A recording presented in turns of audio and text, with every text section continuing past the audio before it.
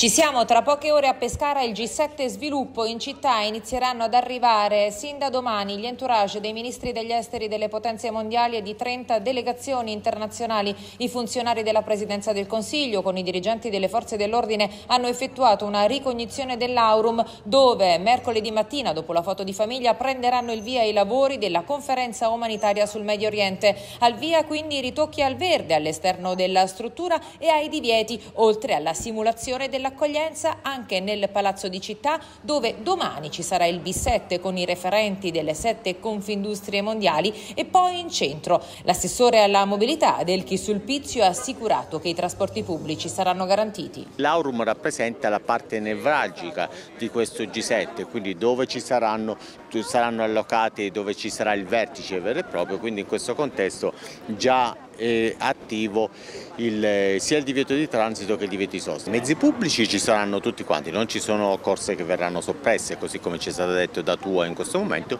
ci saranno soltanto in alcune situazioni dei cambi all'interno del,